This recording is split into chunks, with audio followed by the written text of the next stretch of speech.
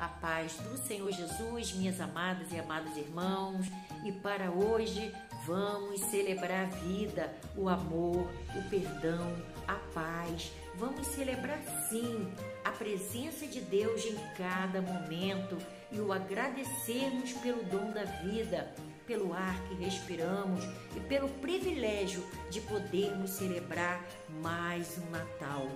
Que neste Natal nosso maior presente seja a presença de Jesus em nossas vidas, nos trazendo paz, saúde, alegrias e bênçãos. Que sejamos semeadores de esperança, fazendo florescer em cada coração a fé, gratidão e o amor ao próximo.